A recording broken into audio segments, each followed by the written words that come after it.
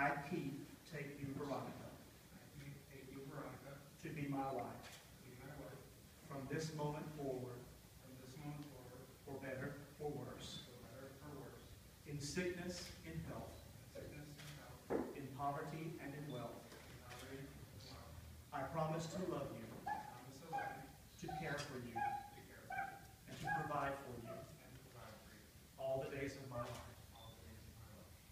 Veronica, would you please repeat your wedding vows to Keith?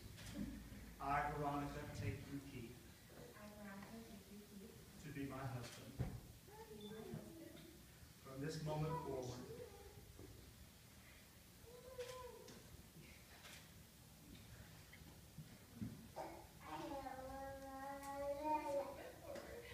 for better or worse, in sickness, in health, in poverty and in wealth. I promise to love you, to care for you, and to go with you all the days of my life. Now may I have a token of your sincerity that you will keep these vows.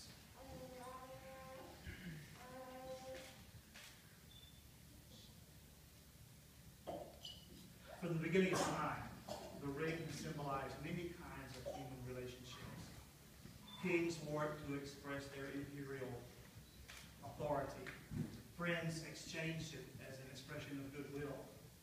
High school and college graduates wear it as an expression of their school loyalty.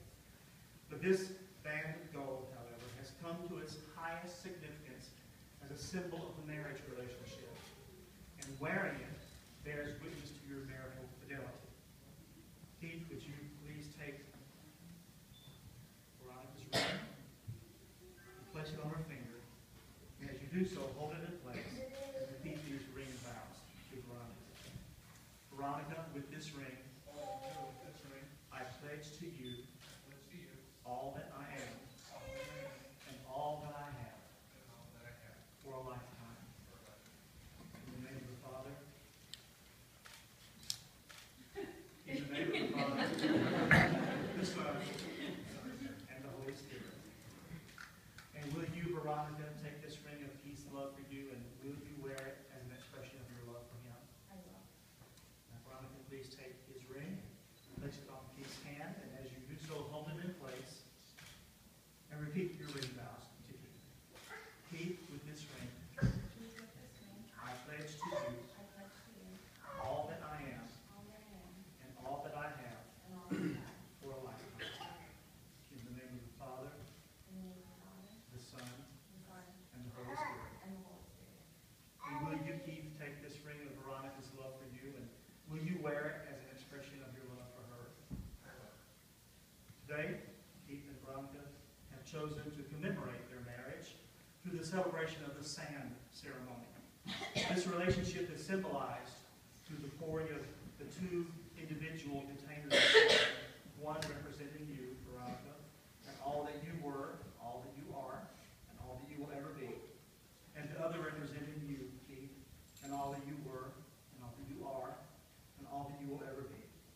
As these two containers of sand are poured into the third container, the individual containers of sand will no longer exist, so will be joined together as one. Just as these grains of sand can never be separated and poured again into the individual containers, so will the.